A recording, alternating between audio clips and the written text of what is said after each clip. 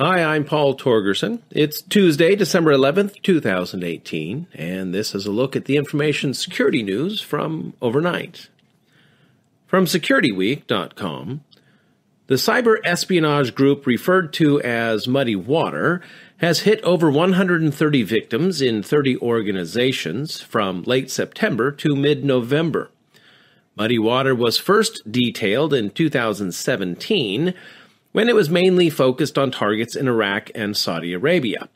In late November, researchers found a new PowerShell based backdoor very similar to malware employed by MuddyWater, which has been named PowerMuddy.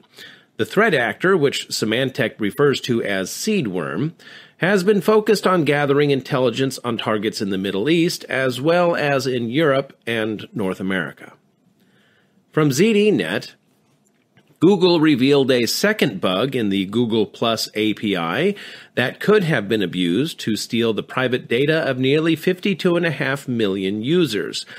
The bug, which resided in the People API endpoint that apps and developers used to get information about user profiles, came to light following internal tests and was not exploited by any third party, at least based on current evidence.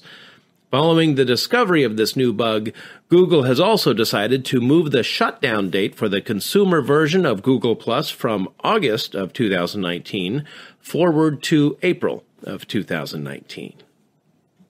From bankinfosecurity.com, the hacking of a credit card processing system has prompted a Texas hospital to notify regulators and nearly 48,000 affected individuals of a breach as required by the HIPAA breach notification rule.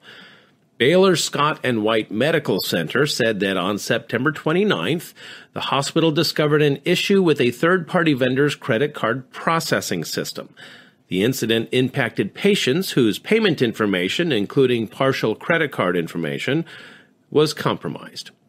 Although the credit card breaches are relatively rare in the healthcare sector, another card related breach reported in August by Arizona based Banner Health opened the door to the exposure of data of millions of individuals.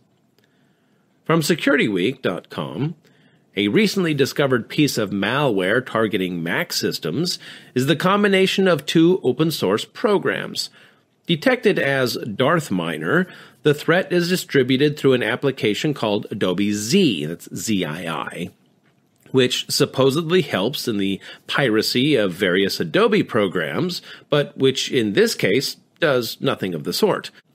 In fact, the fake Adobe Z software doesn't even use the stolen Adobe Creative Cloud logo, but a generic Automator applet icon instead.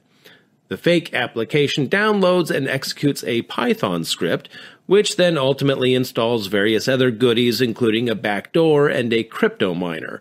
All the appropriate details in the Security Week article. And finally, today from ZDNet, a Russian cybersecurity firm says it discovered login credentials for more than 40,000 accounts on government portals in more than 30 countries.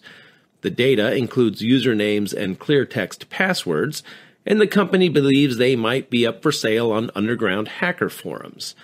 The account details appear to have been collected over time by cybercriminals with the help of off the shelf malware strains such as Pony and the AZORult info stealers, uh, but also the Qakbot multi purpose Trojan. It's good to have a multi purpose Trojan, isn't it? It's believed that the people behind these operations might filter and group the government accounts into separate packages to advertise and sell online. No word on what other types of packages may ultimately hit the dark web. That's all I have for you today. Have a great rest of your day. And until tomorrow, be safe out there.